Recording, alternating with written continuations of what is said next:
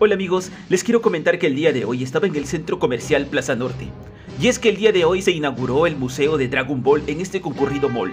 Así que amigos, déjame mostrarte todo lo que puedes encontrar en este pequeño museo. Ni bien ingresamos al museo nos toparemos con varias figuras en tamaño real, como por ejemplo Bulma, con su traje que usa cuando está en el planeta de Piccolo, Egnabikusei.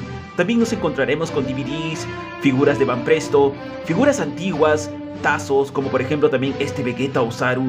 ¡Wow! Que está tremendo viendo cómo Goku hace la Genki Dama. También nos encontraremos con este lindo cuadro de Dragon Ball Super Super Hero, la película que ya ya ya se estrena el día de mañana. Y pues todos a verla. También nos encontramos con este Freezer en tamaño real que está a punto de matar a Krillin. ¡Maldición!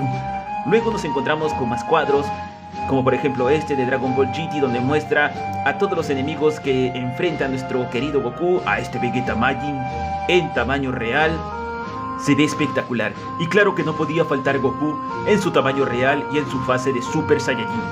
También nos vamos a encontrar con los diferentes álbumes que salieron en toda la historia de Dragon Ball, desde que Goku era pequeño, desde que conoce a Bulma, desde que se encuentra con el maestro Roshi, hasta que mientras va creciendo, donde luego tiene a Gohan como su primer hijo, se enfrenta a Raditz, a Freezer, a Cell, a Majin Buu, luego pasamos a las películas, a Dragon Ball Super, etc. El mundo de Dragon Ball es inmenso.